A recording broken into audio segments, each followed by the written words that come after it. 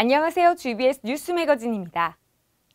우리 동네의 명소와 역사, 주요 시설물의 위치 등 다양한 정보를 한 번에 볼 수 있다면 굉장히 편리할 것 같은데요. 구로 일동에서는 방문객들에게 길잡이가 되어주고 주민들에게는 다방면으로 유용한 마을 안내 지도를 발행했다고 합니다. 그 소식 자세히 알아보겠습니다. 구로일동의 생활 정보를 한데 모은 구로일동 마을 길라잡이가 발행됐습니다. 마을 안내 지도는 구민들이 구로일동에 대한 생활 정보를 편하게 찾아볼 수 있도록 제작됐는데요.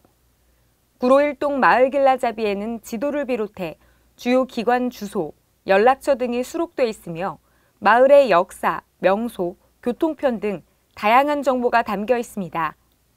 또한 마을 곳곳을 둘러볼 수 있는 9일 한 바퀴 추천 코스를 통해 산책로도 제공받을 수 있습니다. 구로 일동을 찾는 주민들에게 많은 도움이 되길 바라며 구로구는 앞으로도 보다 편리하고 쉽게 찾을 수 있는 다양한 인프라를 만들어 제공할 것입니다.